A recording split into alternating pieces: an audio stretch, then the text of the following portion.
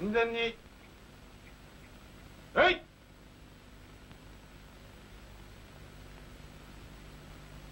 先生に。はい。で。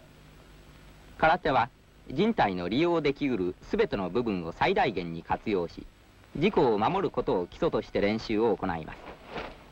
特に手と足は常に休むことなく鍛錬し都市空間よくその一月一蹴りで富士の敵を制することができるのであります。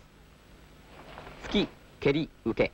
これが一貫して行われる空手道の定義であり基礎技術であります。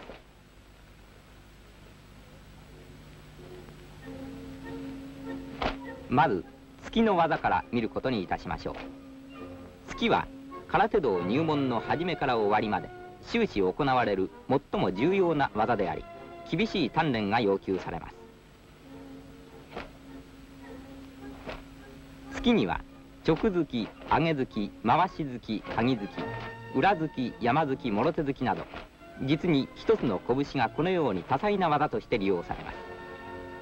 空手の突きはひねりながら突き出し当たる瞬間全身の力を拳に集中して突く。